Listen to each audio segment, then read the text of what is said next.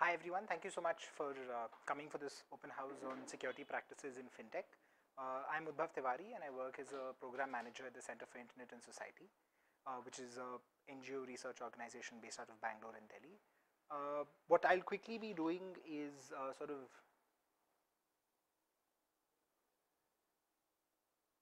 uh, running you through what we'll be doing at this open house, which is broadly telling you about what the research goal and questions that we have when it comes to security practices in fintech are, what is the work that we've done so far in this space, uh, certain guiding points for the participants who are there at the open house. We don't, I mean, I don't intend to talk for maybe more than like maybe another five or seven minutes uh, because this is largely an exercise to gather input from the industry to make sure that uh, I can look at uh, as a part of the research what the what people in the industry and civil society in generally thinks should be a part of security standards for financial technologies uh, and we'll be doing that under certain headings. Should I just reconnect?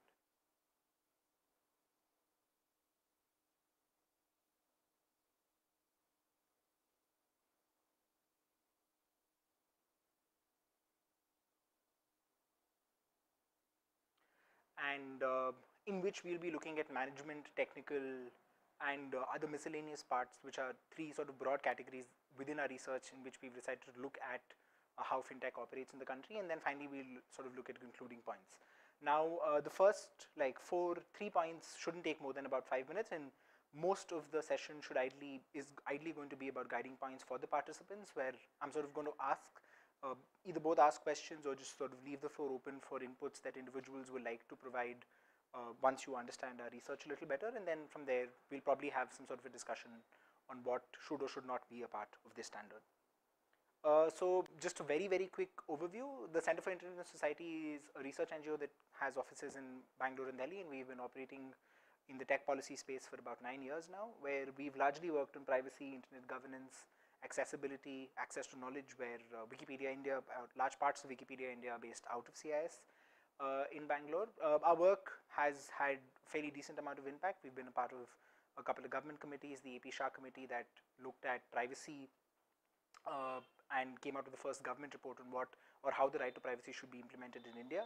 Uh, some of this work has been used by the government and at fairly high levels. Like for example, very recently we were the only uh, NGO uh, and think tank depending on what you want to call us in India that was quoted by the Supreme Court in the right to privacy judgment. So uh, the government has uh, takes like at least a little bit of care to listen to what we are saying on certain subjects, uh, which we always try to ensure we do by gathering inputs from all the relevant stakeholders when it comes to a particular topic, uh, whether it be industry, civil society, consumer interest groups, and the government itself. Um, we've started working in the cybersecurity space very, very recently, only since 2016 and uh, we noticed that while we wanted to work on financial technologies, there was uh, in conversations that we had with certain consumer interest groups as well as uh, some fintech companies that there was a lack of coordination between regulators uh, in India which are broadly either the Reserve Bank of India, um, the Finance Ministry and uh, uh, the Ministry of Information and Technology which broadly regulate or have the remit to work in the fintech space. And therefore we've decided to sort of uh, pursue uh, participation in standards development to ensure that we can contribute to this debate. Now we do this both domestically and internationally. So we uh, participate in the International Standards Organization as members of India where and we are a part of the committee that develops ISO 27001 which is a standard that, that I'm sure at least some of you all are familiar with. Um, and also domestically where we take part in the Bureau of Indian Standards it also develops local and, and, and domestic uh, financial standards as well. So the research goal that we essentially decided to embark upon this project I think about four months ago was to help the government and industry create a sectoral standard to govern security practices in the fintech industry in India. Now uh, there was a very pressing need that we felt when we spoke to the industry of uh, consistency and of uh, uniformity in what an organization that's working in the digital finance space should follow in order to be compliant with the law. Uh, and this standard is sort of one means of doing that because of co-regulation which I'll come to in a little bit. So the research questions that we asked ourselves were, uh, what are the current fintech security practices in the industry? What are the areas of governance and regulations when it comes to cybersecurity that could be that could benefit from co-regulation? uh, and I'll explain the term co-regulation in some time, uh, what form should this co-regulation take and what should be the substantive content of such a standard to satisfy the industry, government and civil society. Uh, now, the, the answer to the first question, which is what are current fintech security practices in the industry, uh, we broadly realize that at least when it comes to fintech, uh, there are none officially uh, that are negotiate like, that are at least passed by the government. Uh, what we did notice was there were guidelines by the Reserve Bank of India on um, how cybersecurity should be implemented in banks. And I think at this point it's sort of important to distinguish fintech organizations which uh, tend to work in either peer-to-peer -peer lending or digital payments as distinct from banks uh, both for the level of uh, regulation that is imposed upon them by the government as well as the duty and obligation that they have to their consumers in order to uh, ensure that they're carrying out best, uh, like a certain minimum standard of best practices for security and privacy. Uh, so as a, when we realized that there was very little that was happening in the fintech security space in India and especially post demonetization that that space was booming, I think we've seen over 400 to 500 percent growth in digital transactions, uh, largely pushed by initiatives such as the UPI as well as pushing digital uh, payment methods over cash by the government. Uh, and which is why we uh, uh, signed an MOU with NCIIPC, which is the National Critical Information Protection Center in India. Uh, it's a central government agency based under one of India's spy agencies, which is the NTRO, the National Technical Research Organization, that has the remit to control India and to control and to protect India's critical infrastructure from uh, attacks by foreign parties, uh, both physical, so little phys literally physical protection, but also digital, which includes cybersecurity. So we have a memorandum of understanding with them with the goal of eventually uh, helping NCIIPC talk to the Prime Minister's office and some other organizations to uh, ensure that there is some sort of uniformity in how uh, the digital finance space is approaching security in the Indian context. And I think we signed this MOU sometime early, uh, like mid this year in March, uh, yeah, March, April 2017. Uh, so once we did that, we realized that um, we looked at sort of what are, uh, what form uh, this co-regulation could take, right? So co-regulation, just to sort of explain it really quickly, is when uh, the, the entity that is being regulated as well as the government which will pass the regulation essentially decide to come into a room and carry out a form of regulation where there is accountability and a certain minimum standard that the government imposes upon them, but the act uh, and maybe even uh, perform some level of enforcement, which is the government's primary job when it comes to regulation. But uh, the actual content of this regulation, as well as the manner in which it's implemented in the country, is done uh, with uh, by the industry. What that essentially ensures is that uh, the, these sort of regulations tend to be a lot more fluid, a lot more um, relevant to the industry and there is a give and take between uh, the regulators and the industry as to what should or should not be a part of a standard.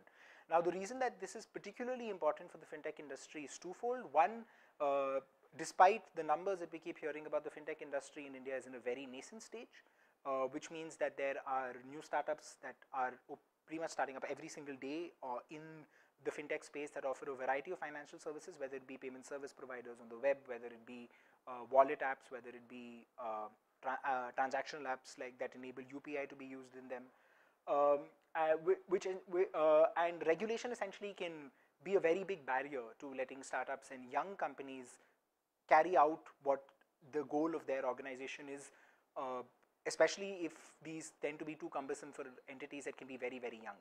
So in a conversation that I had with uh, Nemo, uh, I think about four, three, four, four, five weeks ago, he told me when Razorpay started off, when it comes to the number of employees present in the country, uh, in the company, there were just two employees when Razorpay actually started off. And if uh, to say ask a company that has two employees to follow a standard like ISO 27001, which is a really detailed standard that takes lakhs if not crores of rupees to get yourself certified by and has some very detailed requirements, is an incredibly heavy task.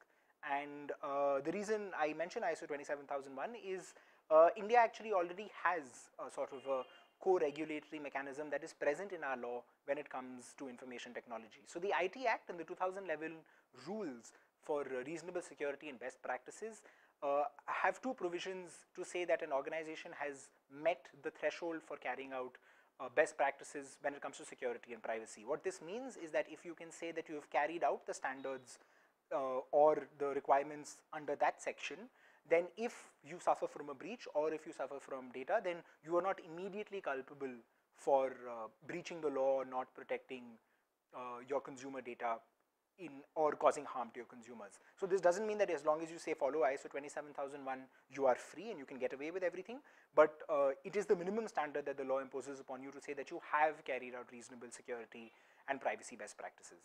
Uh, the, uh, and the two things that uh, the 2011 rules say about this are one that you simply get certified by ISO 27001 and the second is that a sector or an industry can come together, create its own set of standards and then get them certified by the government. And if the government certifies those standards, then these become the standards for that industry. And as long as you follow that industry created but government certified standard, then you cannot, uh, then you will be uh, in compliance with the law when it comes to reasonable security and privacy best practices. Uh, now, even though this was passed in 2011, uh, most of the research that we've done shows us that there hasn't been a single instance of any industry passing such a standard, and there are some industries uh, that are far more long ingrained and a uh, lot less agile, like say the energy sector, which tends to consist of uh, multi-billion dollar plants and energy grids that even that still haven't managed to really come up with the sectoral standard and get it certified by the industry. But uh, these have been present in the rules and we therefore thought that this would be a really good way to not only help the fintech industry create a standard, but also then to take it to the government and say that this is an avenue of co-regulation where you can work with the industry to make sure that the standard that you impose is a standard that is ultimately followed by hopefully as many fintech players as possible. And the semantics of that is something that we actually hope to discuss in uh, this open house. And finally, we decided that, uh, that the substantive content of these standards, while it could be based on other fintech standards like ISO 27001 and like PCI DSS, and I'm going to come to that, um, can, can normally be very disabling for young or uh, young startups or young organizations to follow because of the weight of their requirements. So we essentially decided that uh, in the work that we've done so far, uh, we decided to categorize the requirements from laws and regulations that are already that have already been passed for security in the digital finance space by both MeitY and RBI, as well as looking at digital finance standards like ISO 27001 that is more security than digital finance and PCI DSS which is very specifically related to entities that deal with credit card information.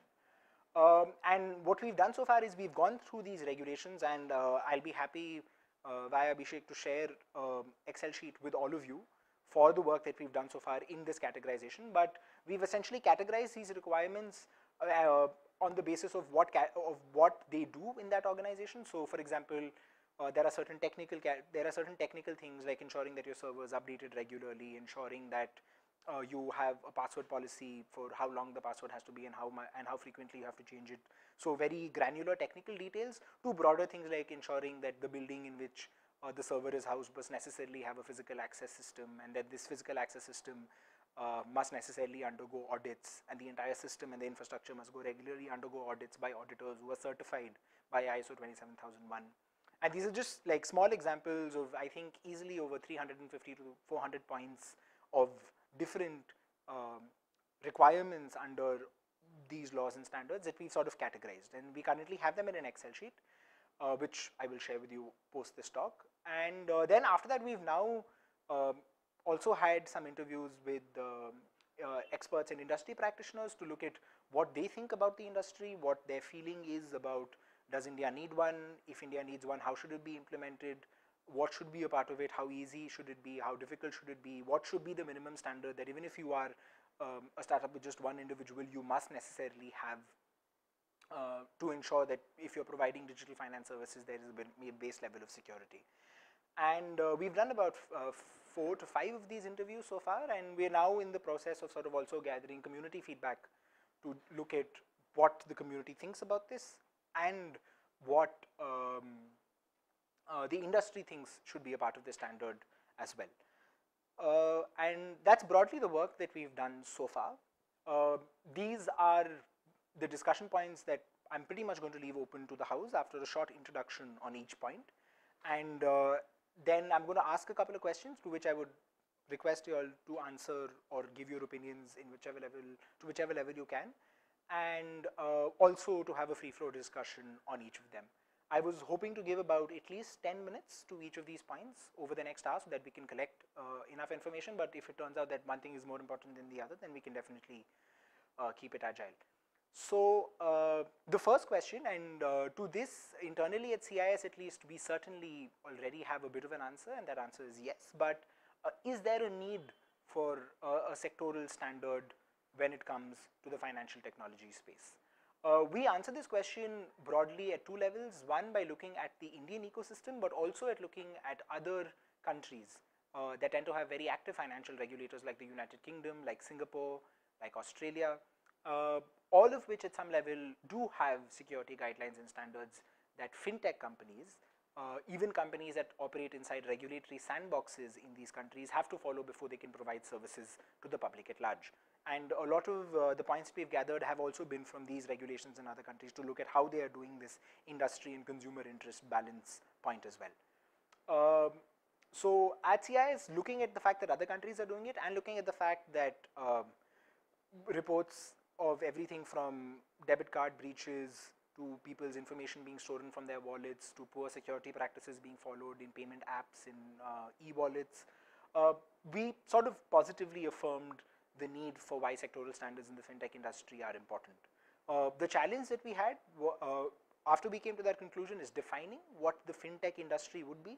So say, should a digital payments provider who operates a payment gateway on the web and on mobile be be put to the same standard that a peer-to-peer -peer lender should? Uh, or is there some sort of a base minimum criteria that if you are dealing with technology that is uh, dealing with technology that deals with money or finance in any form at all that you need to follow as if you are providing it uh, to the public at large. Um, and we've largely decided that uh, while it is important to look at the different aspects of the fintech industry, that digital payments is the area where uh, the need for the standard is the greatest and that the minimum standards that we would come up with for digital payments could possibly be cross-applicable to some of the other areas in fintech as well, which is something that we're not sure about. So the question that I would ask you all is, do you all think uh, the fintech industry needs sectoral standards? Uh, and if so, why? Uh, but far more importantly, because we're very interested in the counter discourse, uh, if you don't think there is a need for a sectoral standard in the fintech industry in India, uh, why do you think that uh, shouldn't be one and how can then security practices be ingrained into day-to-day -day services of providers? So I leave this question sort of open to the floor. If any points or opinions or questions that you have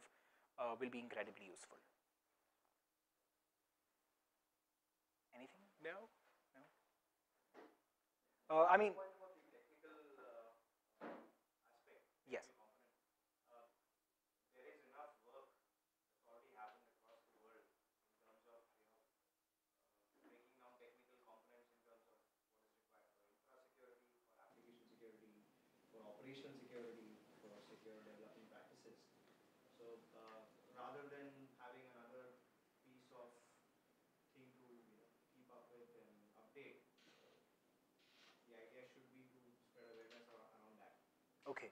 So could you give us some, uh, and uh, we've come across some of these, but could you give us some examples of uh, standards or documents that at some level are binding that do have so such diverse? security, I mean, apart from the PCI DSS, uh, uh, which should be something that everyone should look at, uh, the, the, the top 20 critical security controls yes. cover the part about infra really well. Absolutely. And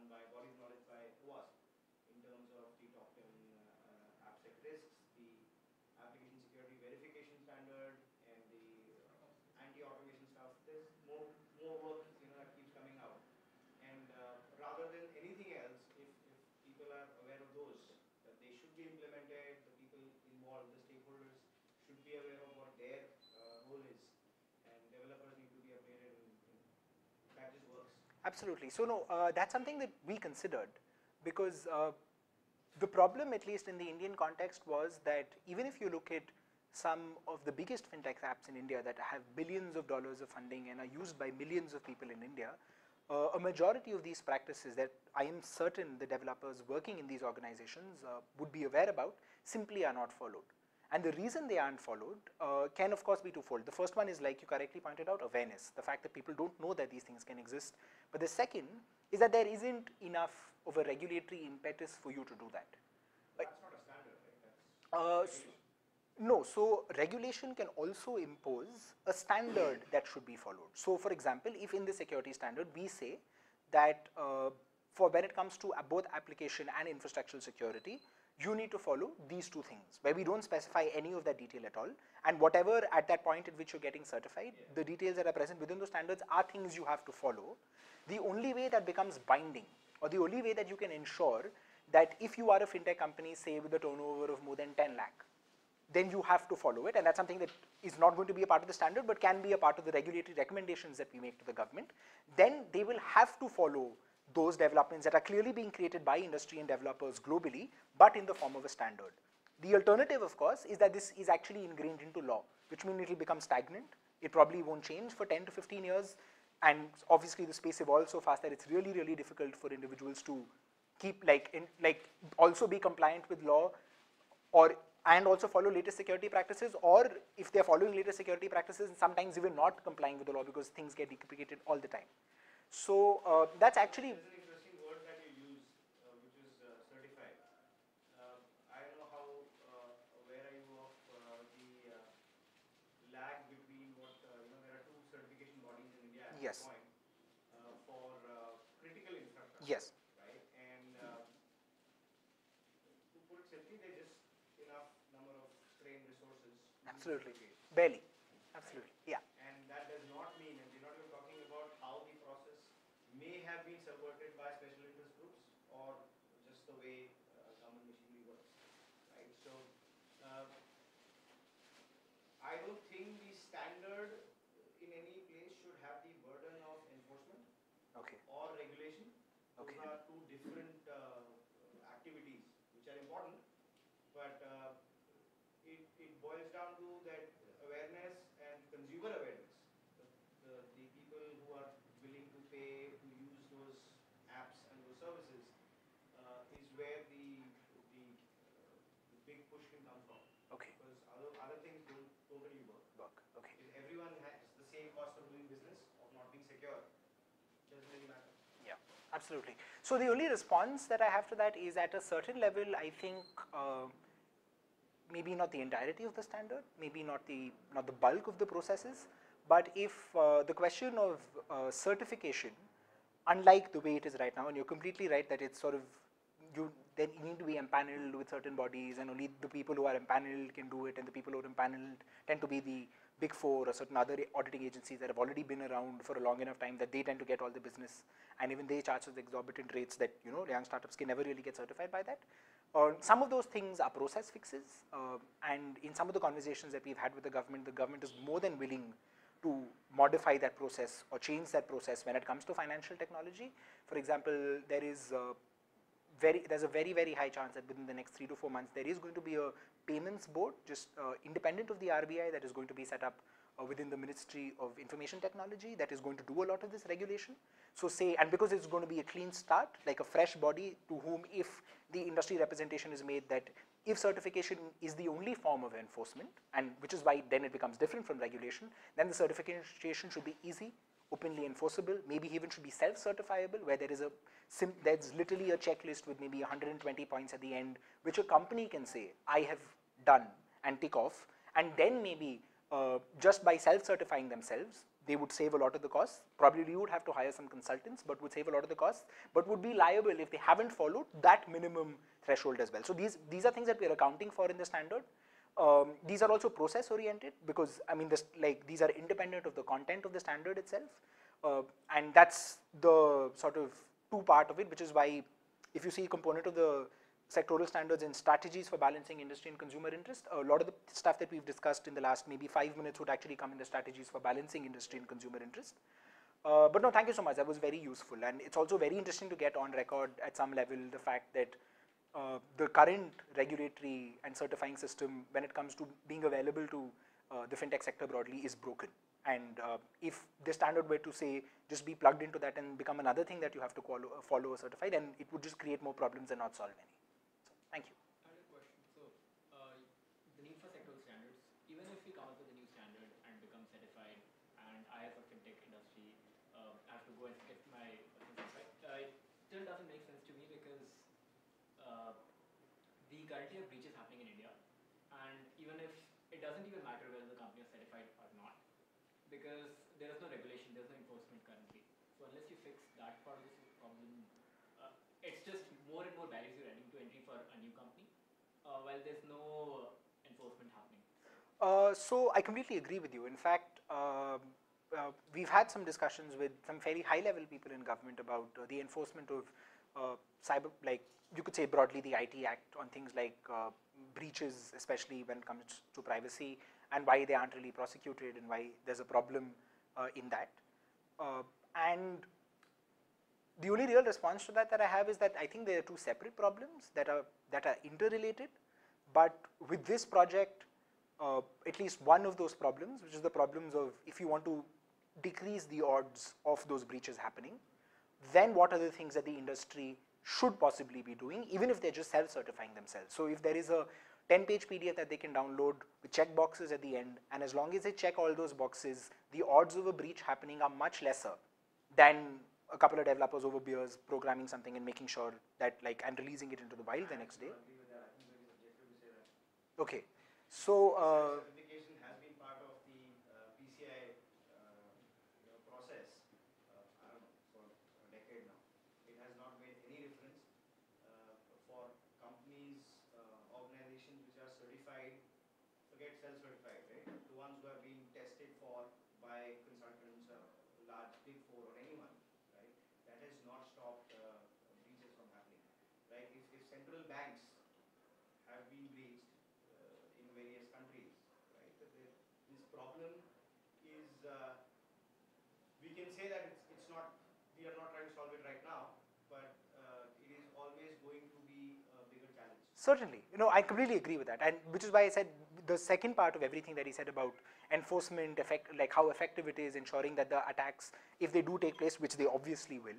In fact, you maybe you're even painting a target on your back by self-certifying yourself. There's an The argument. fact that we're having this discussion uh, basically increases the uh, barrier to, uh, for a startup to get, get into this industry.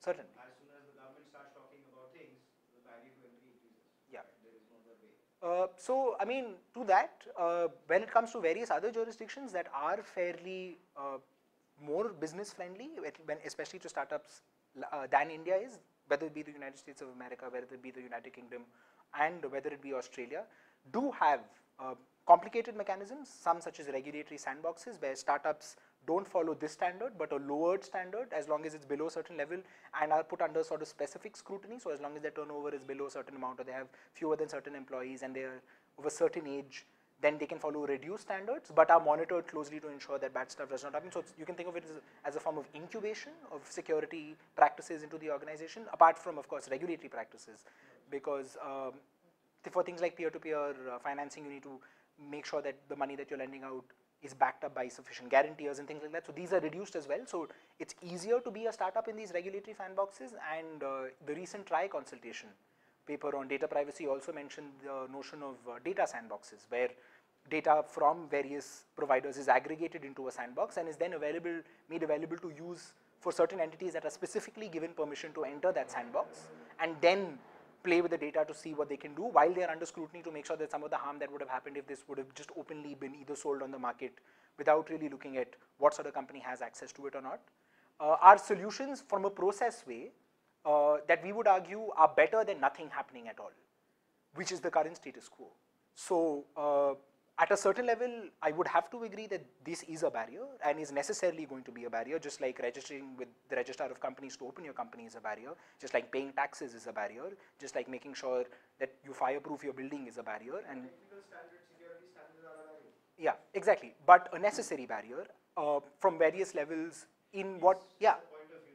Exactly. No, that I completely agree with. But uh, the goal of this, I think, is to pass it on to the government to make sure that uh, if they do come up with this, they don't come up with another law like the 2011 law that is frozen in time, incredibly hard to follow, and doesn't really fix something. So that if the law is made, and regardless of whether the industry wants it or not, I'm fairly certain that is going to happen.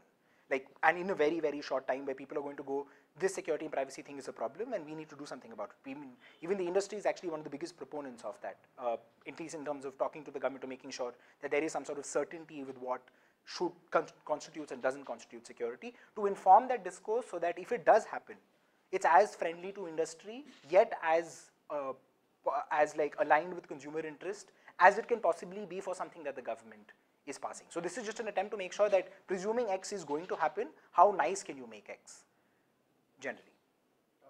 Yeah, yeah, of course, incredibly tough ask.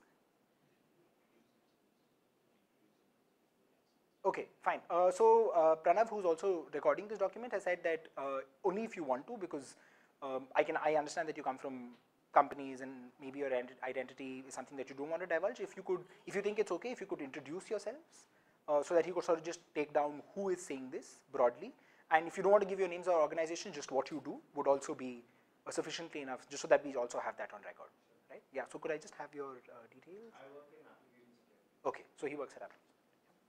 Uh, yeah. So any other points? Yes. I have one, I have a couple of basic questions about sectoral standards. Yeah. Uh, so, uh, do sectoral standards tend to be uh,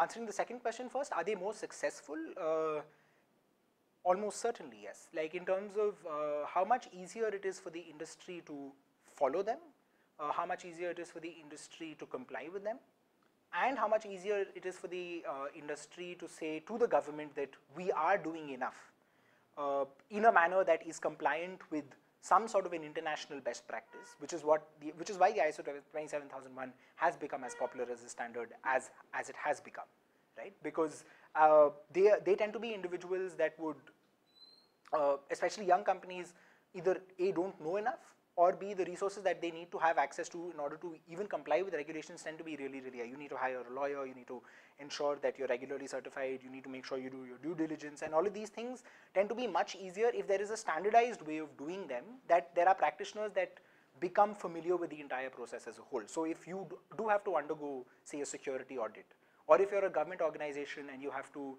use ISO 27001, the ISO now has a document that says that if you're a government organization that uses ISO 27001, ideally this is how we think you should use it. That document does make it a lot easier, say in this example, for even bureaucratic organizations like the government to be able to say that we are doing something which um, at least some people agree is something that should be done about this. And I, I know I use the word something so many times because uh, that answers your first uh, to lead to the first question, which is of leniency. Yes, they do tend to be a lot more lenient than regulation. The reason they tend to be a lot more lenient than regulation is because one, the industry plays a very big role in creating them.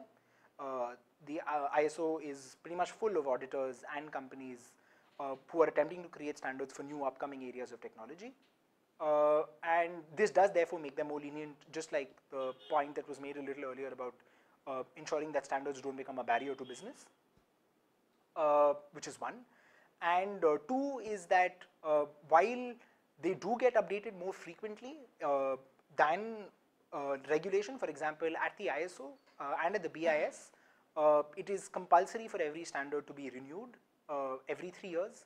So if I pass a standard, if this standard at the BIS or the ISO is passed next year, say in March 2018, uh, by uh, 21, 22, uh, in that one year period, they will have to review the standard and, and during the review, the process is actually fairly exhaustive.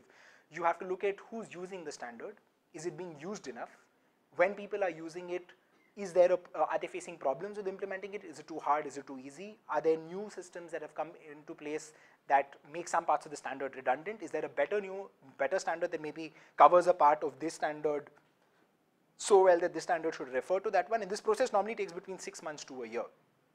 And uh, at the ISO, every year there are easily between 300 to 200 standards that are retired every year in their renew periods because they're either insufficient or because enough people do not renew, uh, like renew them. So uh, if we create a standard that is passed as one and it isn't used for three years, then that standard will simply die a death, like a very poor one um, in the normal processes of how standards are developed which is remarkably different from regulation because regulation tends to be a lot more broad, lot broader. For example, you can't really have a regulation that says your password needs to be changed every 90 days. Uh, I mean, regulators have a problem doing that because what if it, what if somebody doesn't do that? Then are they going to go behind every single person who hasn't changed their password in 90 days? Um, or uh, or it becomes too specific and you can't like govern generally or like in as broad and normative as a manner as possible, which is what regulation normally tends to do.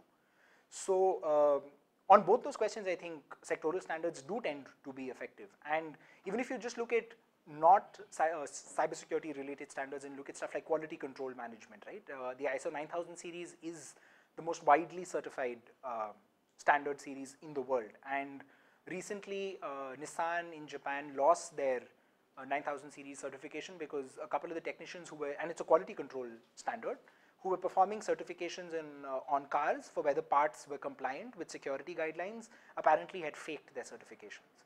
And uh, they spent close to $300 million recalling every single car that was ever tested by somebody who had faked their certification and got their standard revoked, and now are trying to get that standard back. So there are various sectors or, uh, or components of op operations in companies where standards are considered gold.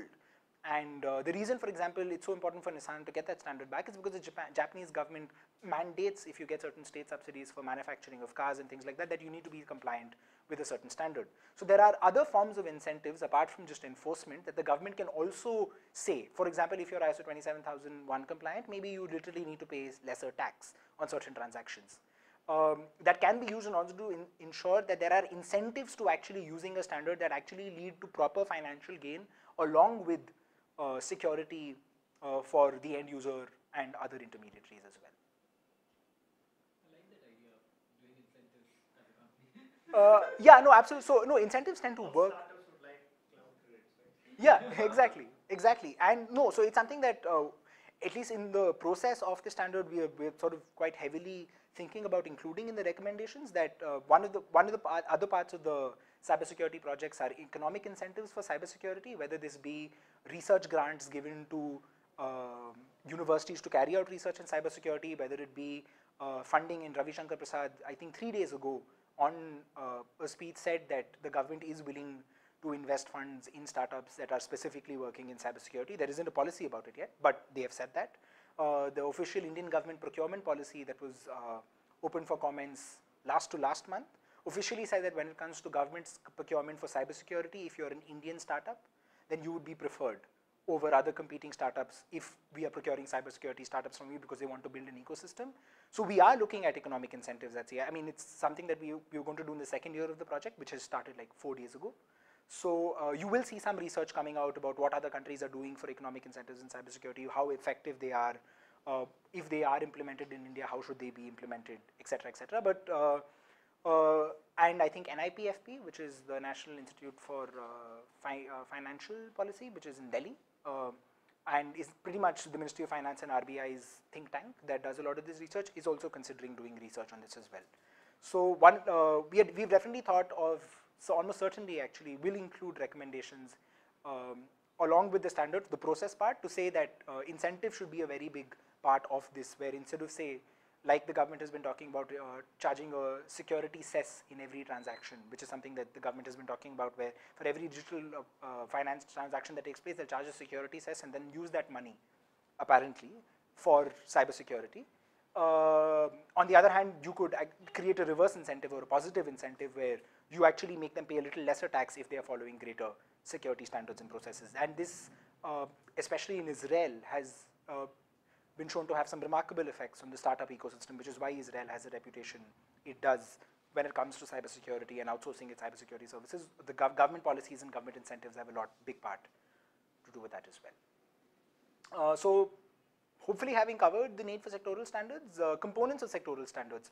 So you had mentioned uh, like uh, application security, infrastructure security, and all of these different parts. Broadly speaking, we would uh, put them uh, under technical, but from a management perspective, right? Uh, having a policy in place that if a breach does happen, what will be done? Who are the people who will be informed? How soon will they be informed? How soon do they have to come to a decision? Do consumers have to be notified or not? If they don't, should the government be notified or not? All of these are also fairly important parts, and uh, especially considering the scenario that if we presume that the standard may reduce the number of attacks that take place, but attacks will still necessarily happen, a lot of the management stuff is what will ensure that the harm that can occur post the attack occurring is minimized as much as possible. So uh, this is also the part that we've spoken about the least in our interviews and our expert uh, conversations so far. So if you have recommendations for practices that are followed in the organizations you work for, uh, uh, practices that are followed globally that you think are good, uh, practices that if you're aware of are followed by countries, either in the form of regulation, say consumer breach notification laws, or even standards and other more informal forms of regulation that you think uh, we should look at as a part of our standard, uh, we would love to hear that from you. Especially, and this is super important because it's always the industry that will always give us, I think, the management part of this because uh, ISO 27001 is actually fairly silent on uh, things like policies and things like that. So they'll say you have to have an IT security policy and the IT security policy needs to cover these five points. But these, those five points tend to be incredibly generic that the organization itself can define how it is following them and then follow.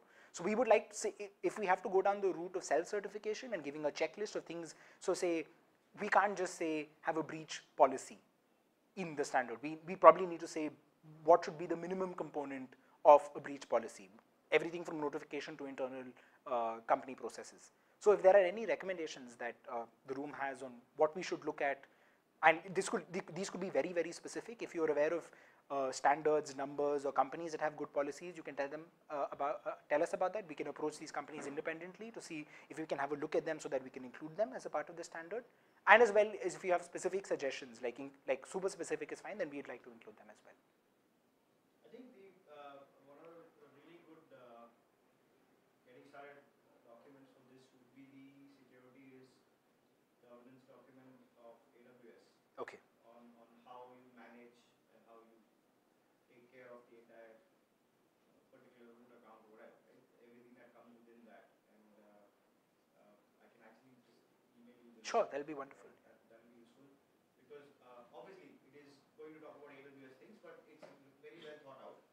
And uh, uh, from that, uh, companies, big and small, can actually create a, a business security framework that works for them, while keeping in mind whatever else that they need to comply with, right? But uh, one of the things that will always come in the way uh, as soon as you start talking about enforcement, uh, economic incentives, disincentives, or even breach-related things, is the uh, you know the cost that comes with whatever uh, unplanned PR is required, right? Because once you make consumers aware, and uh, there is like a, a hyperactive media, uh, suddenly everywhere you see, the company's getting a bad name, right? Irrespective of if they were capable or incapable. Uh, what has worked in uh, some of the other countries, like you mentioned, is uh, a far more uh, stronger uh, cyber security insurance uh, regime, which I am not really sure exists here. Okay, so just to quickly answer that, it sort of does. It's a very nascent industry.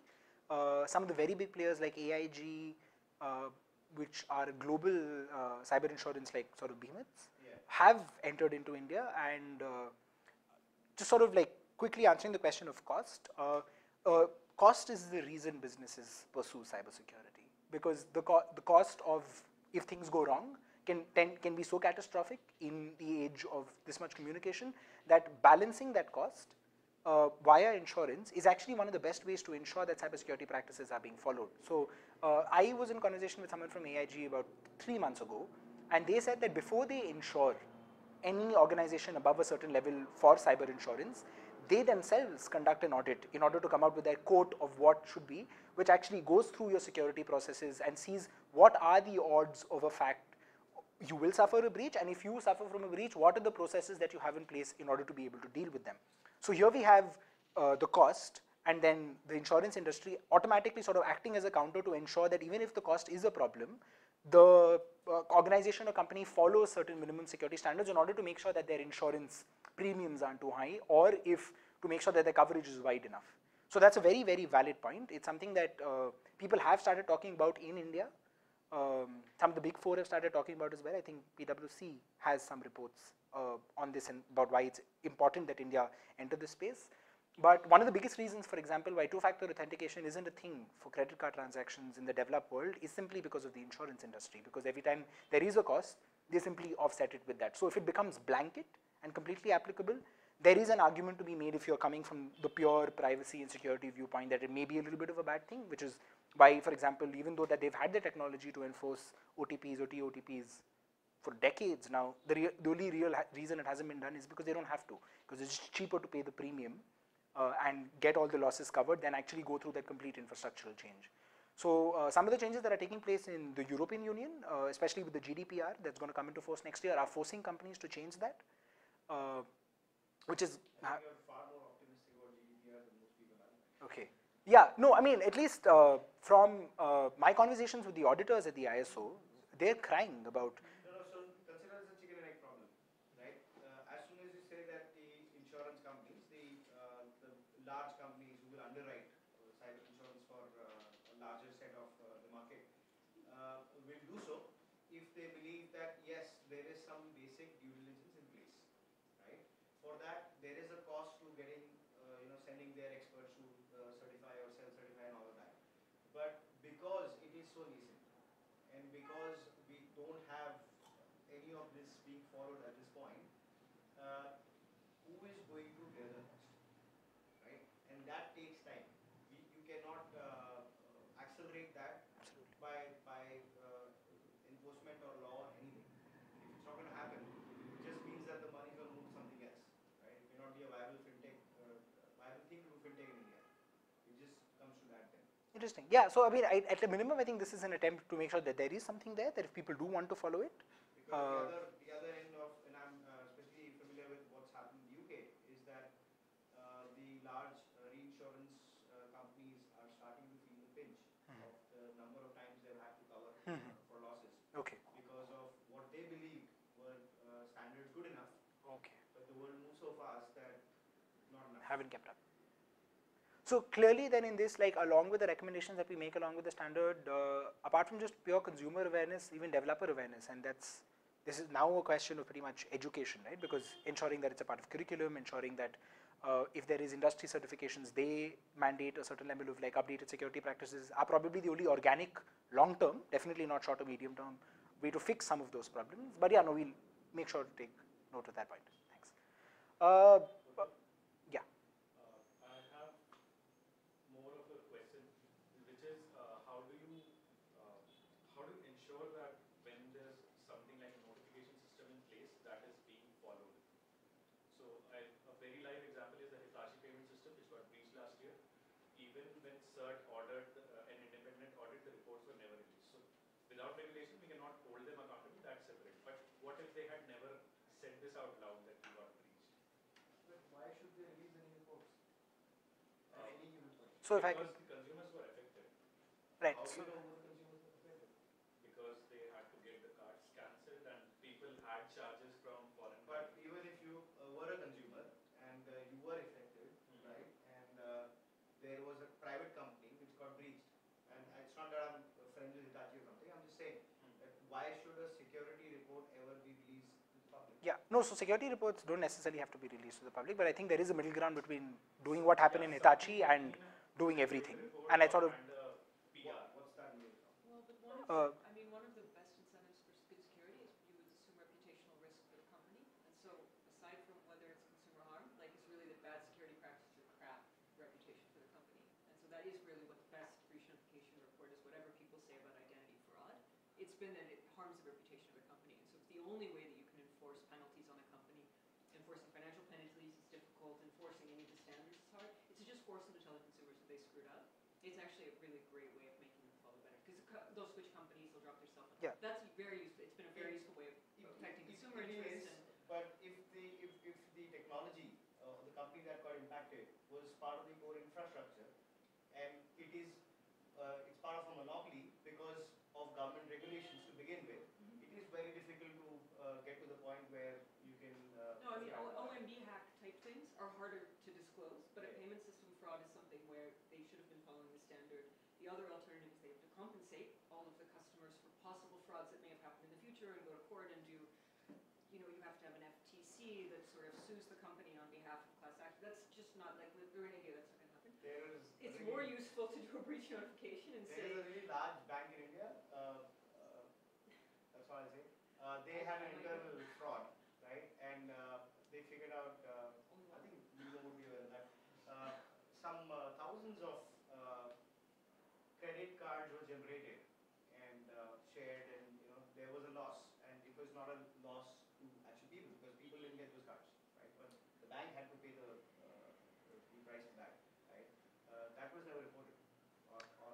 Absolutely. So, I mean, two angles. One, uh, at a minimum, consumer breach notification would not apply to that because consumers didn't get affected. The bank did.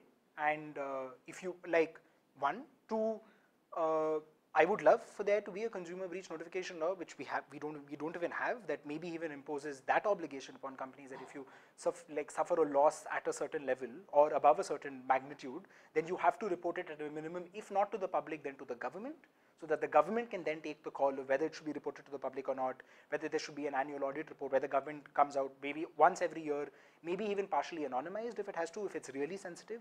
But largely, like Amy said, I think like the public shaming and public disclosure is one of the best incentives that consumers as entities, and presuming that they do have rights in this entire game of profit and loss and barriers to companies, uh, can take, can like do is to ensure that like you said, right, if, if the money is going to move somewhere else and if people are going to go and say to individuals, I'm not going to use your product and services, if those products and services screw them over, then it's their obligation to make sure that they know that they got screwed over before these consumers move on somewhere else. So at least internationally speaking, right, like the, uh, the arguments that you made is the singular reason America does not have a federal breach notification law yet, but 51 states in America have a breach notification law because even though there hasn't been national consensus on this and the days may be 30, 60 or 90 and a lot of semantics have been debated about, but even countries in which technology is a far greater part of their ecosystem and contributes to a far bigger part of their GDP than it even does in India have decided to proceed down this road and regulators have gone, we understand that this is going to be a barrier or it's going to be a harm and there are some times in which it can get completely out of control. But nevertheless, we do have to do this because this is, given how fast this space is changing and how much harder it is to regulate and that's, with that I'm trying to sort of answer your question, right? Like when it comes to enforcement and regulation, there are two broad ways in which you do so. One is competition, like follow the sort of model where the Competition Commission of India works, right? So the Competition Commission of India uh, can investigate you for competition crimes in two ways. Uh, one is if someone complains and then there's a report and an investigation. And the second is it can proactively decide to uh, conduct something known as dawn raids, where they literally just turn up and say, hi, so can we have a look at like these logs and these records? And when it comes to uh, judicial power, they are incredibly powerful. So the FTC is an organization that does this in the United States of America. The CCI is this in India.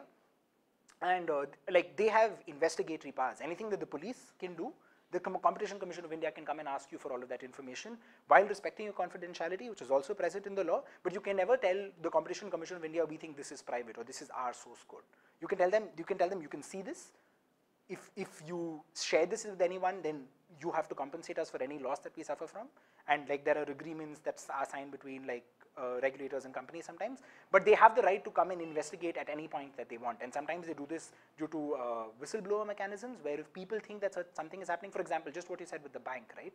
And those many thousands of credit cards that were leaked and how nobody really found out about it. If anyone in that bank, and if such an, uh, say, entity was present in India for digital crime, if there was whistleblower protection where the person could have gone and told the and told the regulator, this happened in the bank, this caused this much loss, this clearly showed that security pressures were not being followed in the bank. Can you please come and investigate this because I think it's a problem as a whistleblower, recognizing that he is doing something despite being a part of their organization. Then in places like America, there are protections given to such individuals, both sometimes even. Uh, No, not at all. So this was answering his standard. Like whistleblower protection is definitely not going to be a part of the standard at all. This is just to answer the question of breach notifications and if they have, uh, there's a breach and they never notify anyone. At all, right? They never find out. Yeah, no, so then there's, uh, then obviously that, that is a legal thing that you will have to prove if someone comes to you and said you had a breach but you never found out about it. And if they make the statement we never found out, then they'll have to prove the statement that they never found out. And if they never found out, then if it's if there wasn't any malafide intent because it's very hard to determine I didn't find out about it versus oops I'm sorry I didn't leave those two lines in a log and I ended up losing hundred million dollars. And I think regulators can be smart enough to be able to distinguish that in like the world at least from the way that at least in it operates in other countries right? But I also think we're sort of wearing off point because it's not really uh, related to this. So quickly for management uh, you told us about the AWS uh, security handbook Apart from that, are there any other practices, any other companies who you think uh, have good, uh, like sort of systemic processes in place that um, have a good reputation uh, within the industry would be very useful because then we can approach them and even under an NDA if we have to look at them to see what these practices are so that we don't disclose them but learn from them and see what parts of those are easy to follow and can be incorporated otherwise uh, would be very useful. This doesn't have to be something that you do in a public forum. Uh, my ID is there at the end of this email. If you can just share that, uh, it would be very useful just to inform us and what we could and could not do. So, Yeah. uh, we internally try to follow the Google SRE handbook Okay, for. That we've seen. and uh, that's really helpful in terms of how to handle an incident while it's happening. Okay. Uh, it doesn't cover the large parts of how to reach notifications. It doesn't talk about what Google's policies on those matters. But it's really nice and if an incident is happening, these are the five things we should take care of. Okay, awesome. So Google, AWS, uh, and then apart from that, I mean, if there are any things that you think you can share, even privately, we, they would be super helpful. Even the, the, uh, the critical uh, controls for query Mhm. actually has a full section on response. Okay. Okay, yeah, so those I've seen, definitely. Yeah, so I mean, some parts of that are there in our breach section, notification section, but I'll be sure to look at them again to see if there are more things. Uh, most some of that we sort of included in miscellaneous, but I look at it again from the management lens and see if there's other stuff that we can pick out from that. Now, uh, the other thing in, in this, we've actually had a fair bit of discussion, uh, at least in the interviews, um, uh, what what should be the technical makeup of the standard? How specific should it be? How generic should it be? Should you say do simple things like literally mandate encryption between endpoints or the strength of encryption at a minimum level, not a maximum strength? Uh, that should be followed so to make sure that the data is safe in a certain way. Two super granular things like your password needs to have special character number and capital letter and stuff like that, right? So uh, we obviously have to at some level achieve a middle ground. Like you, you cannot be too sp- uh, specific because then it becomes cumbersome. Uh, but you also cannot be too high level because if you're providing technical details, especially at a ambit of self certification, it needs to be easily verifiable whether that was followed or not. So um, we've heard uh, of everything from uh, discussed everything from having an update policy where if there are uh, in the softwares that you use, if there is uh, if there are bugs or vulnerabilities that are publicly reported, there needs to be a time-bound time in which you fix them in your update policy internally in the organization. So if you use open source um, or even closed source uh, systems and in the CVE uh, tracker in America, there is a vulnerability about that system, then you have an obligation to make sure that your consumers are not affected by it in a reasonable time frame uh, as possible. That's something that people have discussed. We've discussed um, app level security where things like um, both sides, like I've had discussions why code obfuscation is a good thing, and I've also had discussions of why obscurity by security, uh, security by obscurity is a bad thing and why it can be harmful and it's not good enough. Uh, some discussions about uh, DNSSEC and HTTPS pinning to make sure that um, endpoints aren't captured. And so this is an area that, uh, so I'm, I'm a lawyer by training, but I'm sort of familiar with technology and its jargon, nowhere close to, I'm sure, the technical competence in this room. But uh, any suggestions that I could get on it would be incredibly useful. Uh, if, even if these suggestions are, I think these five things are necessary and important and should be there, and these five things are so cumbersome that they should definitely not be there, even though people have already spoken about them and there has been some discourse about it.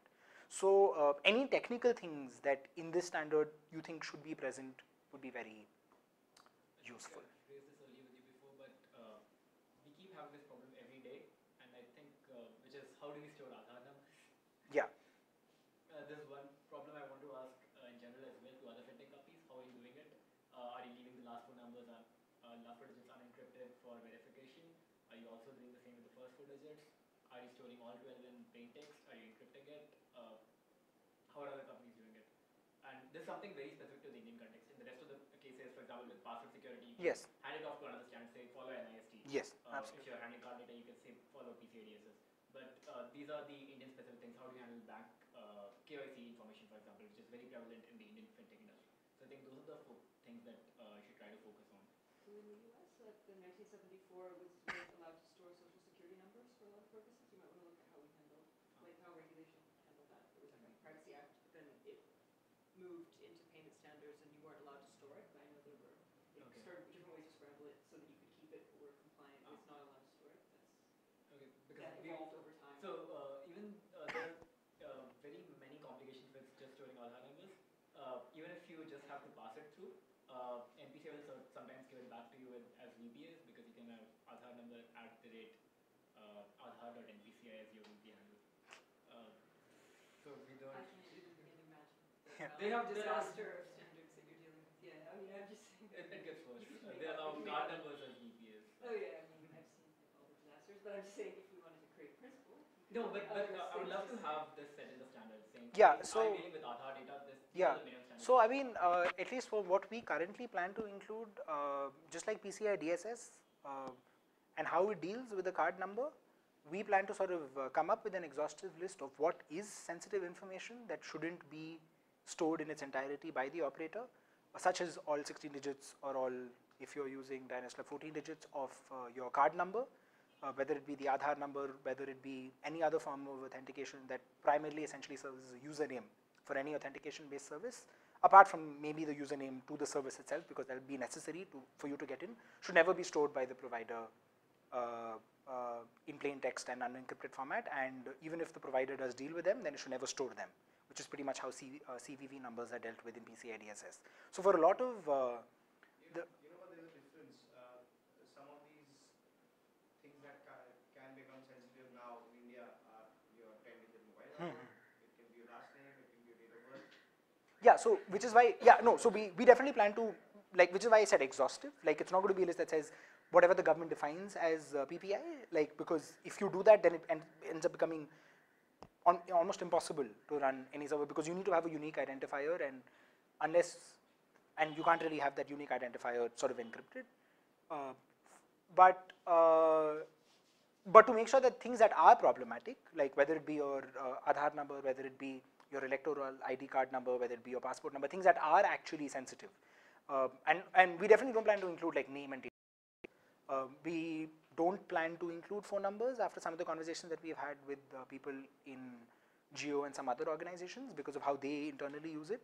But um, we do plan, I think we may, play, uh, this is an open-ended idea, it's not there in the standard at all, but create a middle ground between, you can do whatever you want with it, you have to be careful with it, you can never ever touch it at all, which is sort of how PCI CIDSS also does it in that table with whether you, what, what you can do with it as a checkbox for what things you can do. So we sort of plan to recreate that table for the standard and sort of categorize what kinds of information at least should or should not be present in it.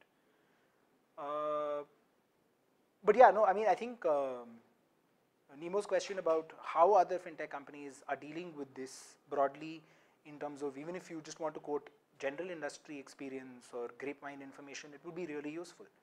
So if you have any inputs, then it would be very useful because then we can like go back and study them on the internet and make sure that we're actually following them.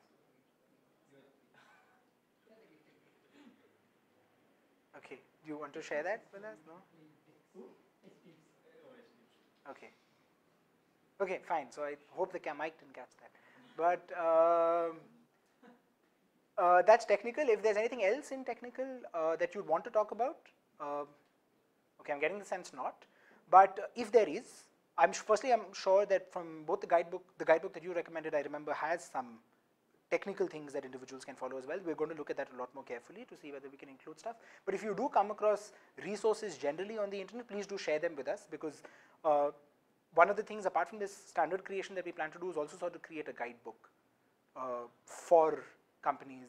Like, I mean, put it, um, open source is important on the internet essentially, so that uh, if you are a developer and whether you're starting out or you're like uh, incredibly big NBFC, um, you can have a look at like what are the top 10 guides that you should read before you develop an application that's dealing with fintech security. So we do plan to do some of that consumer awareness and spreading part, both by tying up with other organizations that do this. I actually have a tangential question. I don't know if anyone knows the answer to this. Is uh, why don't we have domain uh, use privacy for .in domains? Yeah, okay. Anyone be aware of that? Yeah, so I do. but uh, it's because, um, so how the ICANN, which is the international organization that gives out domain numbers works, is uh, it delegates a national agency in every country. Uh, the national agency in India is NIXI. Uh, yeah, sort of end there. Like, because uh, um, NIXI isn't really very good with some of the stuff uh, that they do uh, on uh, maintenance of, especially the domain name part, because um, now I just, I, I'm, why don't I answer the rest of the question to you privately and not on a live stream, right? Because uh, mostly it has to do with processes and subcontracting and uh, how well these uh, subcontracts are drafted and the, and the contents of these subcontracts in terms of if we ask you to do something, how soon you have to do it, what sort of responsibility do you have to do it. So um, it's a fairly complicated process internally, but because of that, a lot of these things simply haven't trickled down yet because uh, the biggest reason is actually the fact that, and this I've heard from in discussions at, related to the ICANN before, because there isn't enough of a demand for it. So unless enough people are asking for it, which in their eyes is a substantial number, or big, like little conglomerates that are asking for this and actually have an incentive for them to do so, they simply don't think it's worth their time and their money to be able to do it. Uh, unlike most other countries, um, it's not given to a government agency. It's uh, normally given to some sort of a multi-stakeholder body that has both government and industry present there. So um, if that ends up happening, then these things tend to be a lot faster in those countries because there's an act active conversation about what should happen and what should not happen. Uh, but yeah, so that's sort of kind of the reason. Um, and broadly then, if there's anything else miscellaneously that you think should or should not be present in the standard, uh, any other broad comments that you'd like to make, uh, it would be super helpful. No?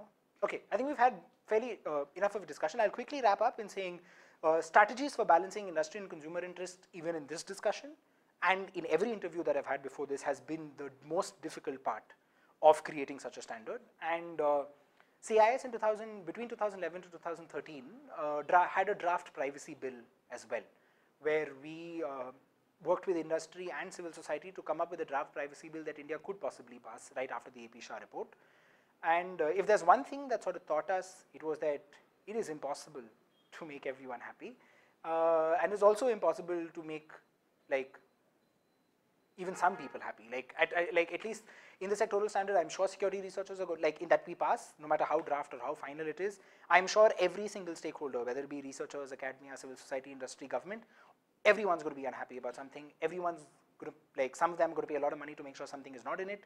Some people are uh, going to be willing to be willing to protest to the ends of the earth to make sure something is in it. So it's going to be a very like, it's, it's a politically flawed task and it's very, very difficult to balance that interest. Um, and in some ways, you can also say it's a task that we know that in some level we are never really going to completely succeed in having that 50-50 balance that we actually want to have. What we do want to do is to make sure that we do as good a job as possible and uh, to sort of categorize things into non-negotiables, into things that are open to uh, that are more open to negotiable, but we want them to happen, and things that we're okay with losing. And that will require like a fair bit of I mean, whatever level of political maneuvering that we can do uh, in discussions between industry and consumer interest in saying these are your needs, these are their needs, let's look at what is the best way in which we can come to a common ground. Uh, we plan to do this in the form of open roundtables uh, and some closed door roundtables that we plan to have in at least four cities, uh, Delhi, Bombay, Bangalore, and uh, maybe Chennai, or maybe one more in Bombay. We aren't sure about that over the next six months. Maybe Chennai? Fine, uh, maybe Chennai was, uh, anyways. Uh, uh, when, uh, now, because we want to do, uh, when we do that, the goal of that is essentially going to be to do a lot of this balancing. Because we're going to have drafts of the standard that people are going to be able to see, give their comments on, and we'll have comment periods, then discussions, and then sort of repeat the process a couple of times to make sure that we arrive at this balance as well as possible. So, um, I'm going to share that Excel sheet with you all so that uh, if there are things you, if there are documents you think we're not looking at, you can add them. If there are things you think should or should not be a part, you can tell us. If there are, it's going to be view-only access so that you can't change it. But uh, if any comments on any part of that sheet that you want to send us via email, we will be more than happy uh, to look at and to include. It's something that we completely recognize as a space that we are young at and new at, and uh, the industry itself is changing at such a rapid pace that unless we keep um, keep like a hand on the pulse of what is actually happening, the odds of this actually getting accepted are negligible. So we need to make sure that like the main people to whom this is going to affect, aka the industry, are aware of it and are and we are listening to everything that they're going to have to say. Right. So I think that is it. Thank you so much uh, for sitting and listening to me ramble, and for all your very very valuable inputs that I'm sure uh, we learned a fair bit from. And uh, this is my email ID in case uh, you want to get in touch for sharing uh, items or just generally keeping in touch or learning more about us. And thank you so much to HasGeek for giving us the venue and for live streaming it and setting it all up. It's uh, really nice to be able to sort of interface with the industry via HasGeek, which we also hope to keep doing in the future at their other events as well. Thank you.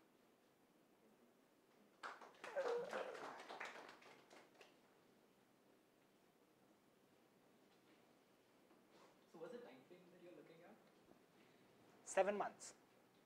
Seven months from now to the uh, Yes, seven to eight months, yeah, approximately. mid of next year. June next year, ideally, like 15th June is what we thought could be a time that we want to definitely be done with it. Uh, so 15th June will probably like take to the government level, and then maybe after government has some more feedback, maybe have another round. So by August, done for sure, sh- like finish the project, but June, otherwise 15 June. So the next seven months broadly are when most of this work is going to happen. So I have a question. Yes. So have you considered anything that uh, these standards try to avoid a false sense of security? Like if some organization takes this standard and they follow it Yes. properly. Yes. Okay.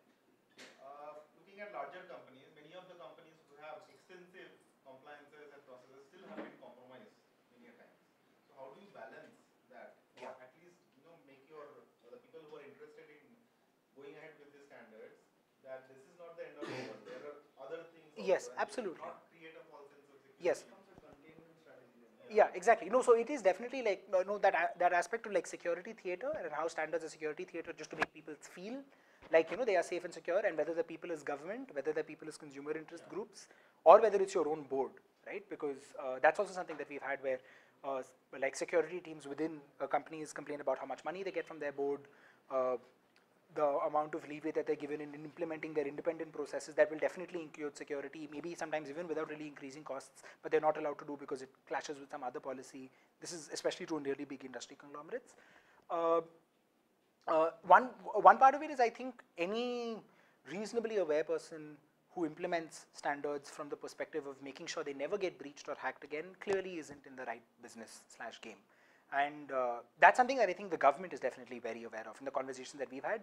They know that if just because he passed the standard doesn't mean that maybe the same number of Awareness is breaks. Probably another very important area. Exactly. And continuous awareness. Continuous awareness and the fact that the standard will include something like breach Yeah. notification is.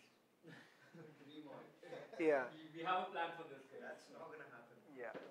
So uh, yeah, no. So security theater is a problem, uh, and uh, I don't think anyone. May, I mean, maybe we will include it at the end of the standard as a footnote that this standard does not mean that you are now secure, and you definitely need to do a bunch of other stuff. So please make sure you're doing it.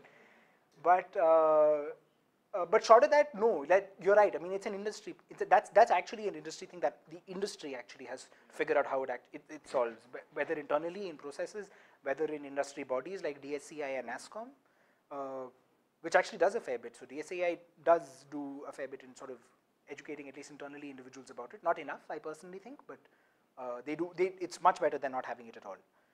So yeah, that's the only real way of solving that. Um, and broadly, just increasing the level of education and awareness on security practices among developers. Yeah. Is the live stream done? Still on. Why? You have something else to ask? Okay. Fine. No, but I think yeah. Unless there's anything else or any other comments, I think we will wrap it up, and then we can like all talk. Thanks.